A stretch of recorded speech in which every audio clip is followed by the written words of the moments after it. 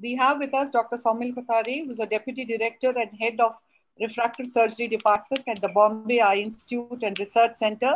He is also a director of the fellowship program there, and he has a very uh, simple learning tip for all of us. Not simple, but an, a, a, learning tip which the good surgeons can do it very well. Thank you, ma'am. Uh, can you see the screen? Yes. All right. So uh, I'll just uh, complement what Dr. Sharma was uh, talking about with the use of uh, the hooks and the rings.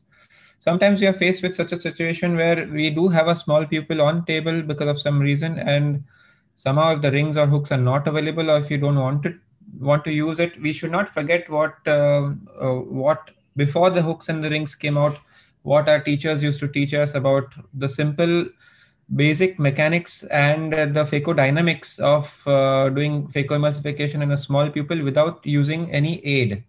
So out here, you need to just uh, uh, stain the, I usually stain the capsule because I know that it's uh, not, it's a challenging situation anyways.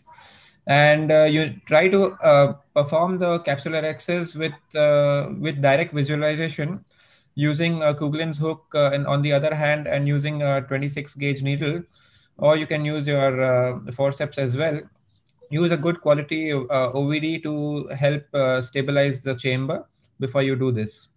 So uh, this is a reason why we stain the capsule in a small pupil because we want a maximum visual visualization in uh, while performing the capsular access, which happens to be one of the most important steps in such a situation.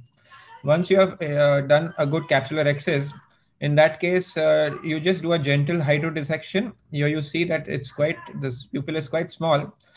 But uh, in the words of Dr. Abhay Vasavada himself, it says that the small pupil helps us to remain disciplined and remain in the center of the eye without going too much in the periphery. So yes, definitely you need to just uh, sculpt the center, uh, central portion of the nucleus itself. And uh, the small pupil enables you to do so without any discomfort.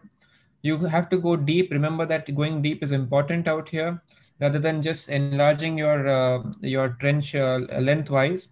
And once you have adequate depth, you can have a good crack uh, at the nucleus. You divide it into two heminuclei.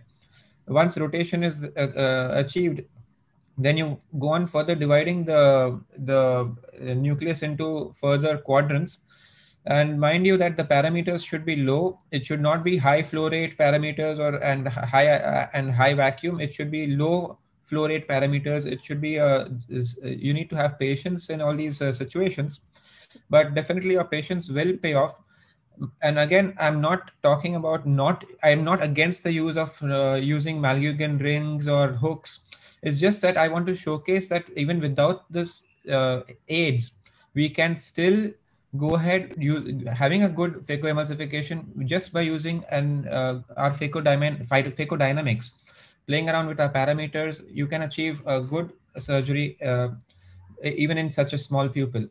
Remain in the center. You can see that uh, by your, my left hand my probe i'm a left-handed surgeon uh, remains mainly in the center while the right hand my other hand it uh, the Sinskey hook basically does the main work right? And once you have that bimanual uh, IA does definitely help as compared to a coaxial IA because with the irrigation um, uh, probe, you can just uh, definitely just retract the iris out here and under direct visualization, go ahead and do a good cortical aspiration. Again, uh, uh, nothing against coaxial, but in my hands, but the bimanual IA definitely helps in especially these situations. Uh, once you have uh, done a good IA, you insert a good OVD, inject uh, uh, uh, your lens inside. Here you can see a hydro implantation of the lens, which because I'm used to this uh, sort of a thing. And once I have this lens in place, I just go ahead, dip it in and check that it's in the bag itself and not anywhere in the sulcus. And once that is there, well, we just go ahead with the OVD removal and that the case is complete. So I invite your uh, comments and suggestions. Thank you very much. Um, wonderful videos, both Dr. Vidushis and uh, uh, Saumil, wonderful. Uh, Saumil, I'll ask you this question and some of these questions are going to be uh, similar to both of you. Uh, don't you, uh, would you tell us, using Kuglen's hook, sometimes that could itself irritate the iris and make the pupil more small. Something I felt when I watched your uh, case. You're absolutely right. So my first preference is, of course, without touching the iris, if I can make the entire rhexis, uh, even uh, partly uh, with uh, with the understanding that where my uh, focal point of the rhexis is, where my propagating point is, well and good. But in case, uh, especially for beginning surgeons, I would say that you better do your rhexis under direct visualization. The retraction, that's also fine. Both these techniques are fine. My preference is, of course, not to touch the iris.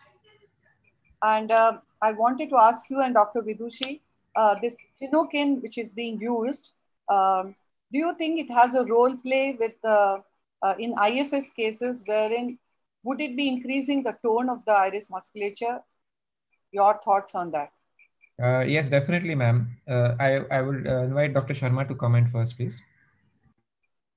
Vidushi? Muted. unmute yourself. I was just saying that Kuglen hook technique will probably uh, cause an even more floppy iris. So it should be, it can be used for other kinds of small pupils, but at least in a floppy iris, it should not be used because it tends to make the iris even more floppy and with the prostaglandin release and all that. But it can be used for where you have had chronic uh, miotic use or something like that. So other causes of small pupils. And I think the Phenokin Plus does help but only thing is that you uh, the rings are obviously better because they will protect the iris margin as well. And phenokin plus uh, will have uh, effect only for a very short duration. But uh, if you don't have anything it is the easiest to use during surgery. The other question i'm sure all of us would want to know uh, Saumil or Vidushi could answer. What is your threshold for different pupil expand, expansion devices? How would you what would you tell the attendees here? Which to use when yeah. So, uh, so it depends. Uh, hello, it depends uh, what the, uh, is there any associated condition involved in it? If there is pseudo exfoliation or if there is any surgical pre-surgery which has been done, in those cases, uh, I believe that one can use these pupil dilating aids early on because in pseudo exfoliation and in those patients who have had, uh, who have been, who have had surgery done, and the uh, other surgeries, glaucoma surgery done. So in these patients, you know, we end up with a situation that we can have uh, more damaging to the iris. So in these situations, uh, even a 4, 4.5 millimeter, 4 millimeter is sufficient for me to, uh, you know, use uh, uh, pupil dilating aids. One important thing in deciding the pupil dilating aids at times is, you know, what the anterior chamber depth is. If the anterior chamber depth is less than maybe 1.5 or so, my preferred dilating aid in that case is an iris hook rather than uh, a Malyugin ring because Malyugin ring in these cases causes more uh, damage to the endothelium because of the maneuvering which is continuing. Another important thing is that uh, which was uh, previously being discussed uh, the role of uh, you know adrenaline is very important in these uh, IFIS patients. But as and how the time passes, uh, you know there is atrophy of the muscle, and once the atrophy of the muscle is there, then the role of uh, adrenaline uh, decreases in patients who are on alpha antagonist drugs. Anything extra you want to add, Saumil? Uh, no, ma'am. I would just say that uh, uh, for a for a beginning uh, surgeon, please use the technique which you're most comfortable with. Do use uh, an aid like a hook or a ring, uh, rather than just going ahead with the small people without the aid. But my video was just to say that Kefiko Dynamics can work to your advantage. That's about it. and one to you, Vidushi. This uniplanar and biplanar rings like Malyugin and uh, B-HEX, which would you choose when? Any, or the third panel could add to? Yeah, can I answer? Yeah. yeah. Yes, yes. No, uh, uh, both the presentations were very good. Vidushi and Saumil were very good. Only thing is, in small people, I want to give a clear take-home message. Be safe, then sorry. Okay, right in the beginning of the surgery, you decide what pupil expander you want to use and go ahead. And I will not take a chance, even after this experience of so many years, I will not take a chance of having a small pupil because all the complications are related to small pupil. The stress on me is so much, and definitely the complication rate is more. So right in the beginning of the surgery, and if you, know this pupil is going to come down on you, either use iris hooks or Mulligan ring uh, or B-HEX. When to use what? That is a question which Chitra has asked. Chitra, before that, I wanted to ask you, this ARC webinar is for the left-handed surgeons? Why? A lot of left-handed surgeons are there today. so I was wondering whether all the left-handed surgeons you picked up. So if it's a very small pupil, pinpoint pupil, my preferred choice will be an iris hook. Though Suven says you can do a pupil stretching and then go ahead and do a B-HEX, but my preferred choice will be an iris hook for that matter. A little dilating pupil, about three, uh, about four millimeter or something like that, then Mulligan ring or B-HEX ring or iris hook doesn't. I think uh, if you want to use Mulligan ring or B-HEX ring, because you can put just one incision and get away with it. And that, that's, that's my choice. So otherwise I use go in for iris hooks. Only thing is when you're putting the iris hooks, please make sure that your incisions are not very big, not very small, and it is also in the posterior limbal, not in the corneal. If you put it in the cornea, the entire iris will come forward like a tent. Okay, so put it in the posterior limbal so there is an equal traction. And don't keep the iris hooks for too long a time. Don't have the traction for too long a time. And uh, uh, make sure that once you remove the nucleus, you don't require the pupil dilatation much. So at that time, you can remove or relax the iris hooks and loosen the iris hooks a little so that you can get away with the, with the sphincter tear in these patients. Just also, you need to differentiate between an elastic pupil and a rigid pupil. Yes. It's an elastic pupil. If you first inject BSS before you do anything, and if the pupil dilates, then it's an elastic pupil. A B-HEX works really well. If it's a rigid pupil, then probably a Mulligan would work well. The advantage of the uniplanar, madam, when you asked about that, the B-HEX being a uniplanar is advantages, especially if you have a pupil which comes down later after you have done a CCC then using a uniplanar B-HEX will ensure that the CCC is not trapped. If it's a Mulligan, because it's a biplanar, it could entrap the, uh, or iris retractor could entrap the CCC also. And in case of a shallow AC, I have used B-HEX, it really works well. Yeah. Uh, just one comment I want to make uh, based on uh, Mohan's last uh, point that, you know, once the nucleus is out, most of the surgery is over. I think most of us believe that uh, dilatation is etc. is necessary more for the nucleus emulsification. I'd like to emphasize that uh, uh, good visualization equally important for intraocular lens implantation also. So yeah, I understand. No, what, the, uh, what, I, what I meant, Ramurthy, what I meant was to just relax the iris hooks a little at that time.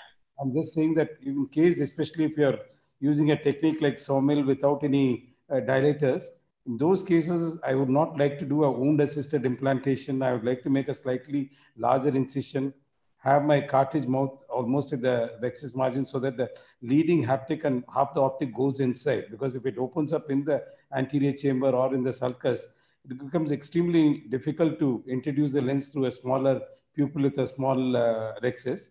And also, again, if you are using plate haptic lenses, I stopped using them long back, but recently I've started using some trifocals which come in a plate haptic design. If you have a small pupil and a small rhexis, it's extremely difficult to introduce these lenses.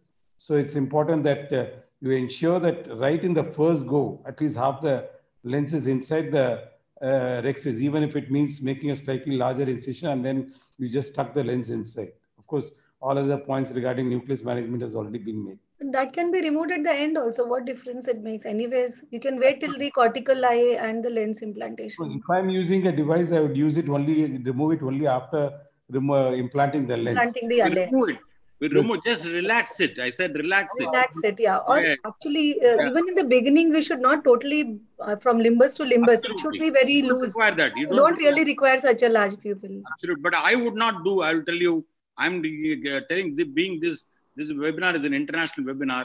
So many delegates are there. I will not do a small pupil uh, without, without iris. Yes, Absolutely. I will not do. Yes, agree. I will not do. And I think that should be the message sent across that yes. we should yes. not uh, take the risks. Right? Can you want to introducing the next speaker, Anagan?